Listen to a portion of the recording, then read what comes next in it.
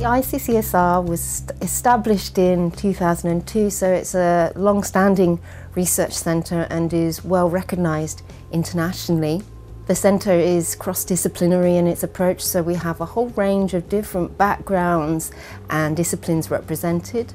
So we have accountants, we have economists, we have ethicists, we have philosophers, development specialists, strategists, the centre is very international. Our students have come from everywhere around the world and this really leads to a vibrant learning environment and so you get to hear people from different backgrounds and different experiences which when you're talking about sustainability and corporate social responsibility and ethics that's essential because different things mean different things in different places.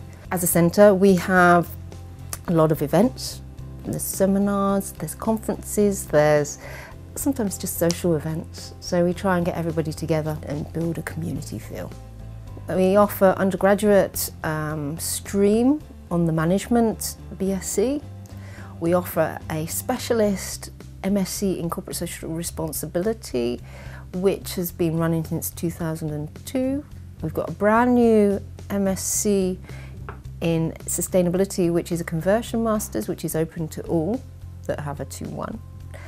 And then we have the MBA program in CSR, which is for people with five years management experience. And finally, we have our PhD program for those that have got a high-level master's in a related field that want to continue to study for a doctorate. All members of staff have their own research agendas. There's some centre research projects where we work together. We collaborate across the university with other academics in other universities in other countries. So there's a whole network of research being conducted and this feeds directly into our teaching that we deliver. We have a number of key speakers come into class um, from industry but also from NGOs and, and other sectors, the third sector. We have lunchtime speakers come in, sometimes we bring everybody together. And twice a year we have high profile people in to give a guest lecture.